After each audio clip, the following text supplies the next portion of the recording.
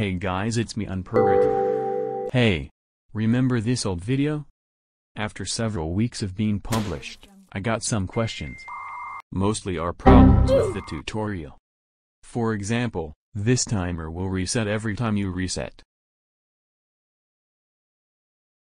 Look at that. This is actually a bad problem. I decided to make this into a whole tutorial.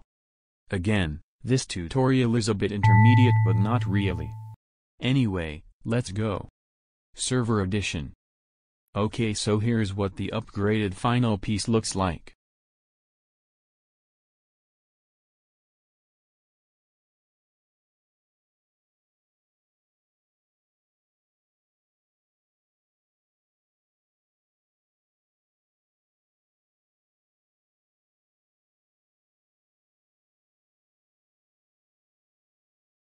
As you can see, the timer will not reset whenever you reset character or dead.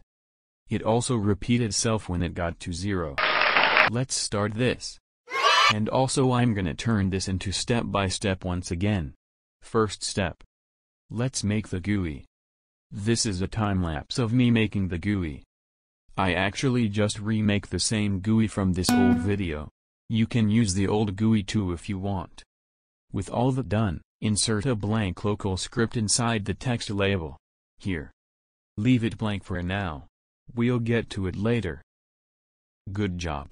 Advance to the next step. Values. This is almost the same as my last video. You only need two values. Both of them are number value. Name them accordingly. Yay! As for the next step. It's time for coding. Alright. Let's script the local script first. You can get the script down in the description. Done. Now for the main script to make it actually counts down. Insert a script inside ServerScriptService right here. Like always, get the script from the description or follow what I type if you weird. Done again. Ta-da.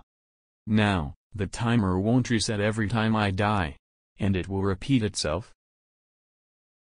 Also, someone wanted me to make this. So I did. As you can see, I have a leader stat named coins. When the time is up, the coin's value will reset and I will respawn.